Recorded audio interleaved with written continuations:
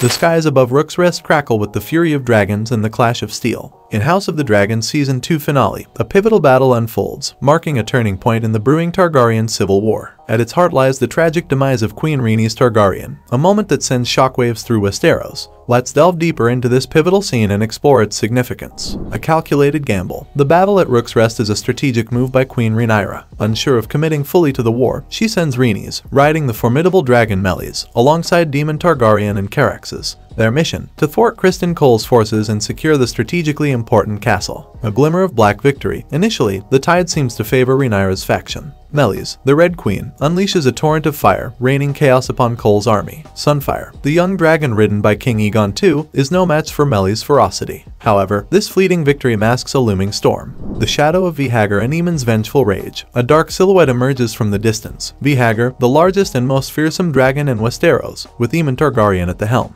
Aemond, consumed by grief and vengeance after losing his eye to Lucerys Velaryon, charges into the fray with a singular focus, destruction. The brutal onslaught. Vhagar, a veteran of countless battles, dwarfs Meleys in size and experience. Aemond, fueled by his rage, unleashes a vicious attack. Vhagar's massive jaws clamp down on Meleys' neck in a sickening crunch, crushing the life out of the Red Queen in a single, brutal maneuver. A queen's descent. With Meleys mortally wounded, Rhaenys loses control of her mount. The once proud symbol of Targaryen power plummets from the sky, a flaming testament to the battle's brutality. A collision of fire and fury, Rhaenys' descent culminates in a dramatic climax. She crashes through the roof of the main hall at Rook's Rest, where a tense council meeting involving Otto Hightower and other Green supporters is taking place. A fiery end and a shifting landscape.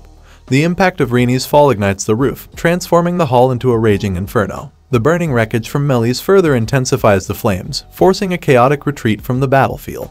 This unexpected turn of events marks a turning point in the battle, leaving both sides reeling. The significance of Rhaenys' death. A critical loss for the Blacks, Rhaenys' death is a devastating blow to Rhaenyra's cause. She was a seasoned warrior, a strategic voice within the Black Council, and a symbol of unity for the Targaryen bloodline. Her absence leaves a gaping hole in Rhaenyra's leadership. A fuel for revenge, the brutal circumstances of Rhaenys' demise will undoubtedly inflame Corlys Velaryon, her husband.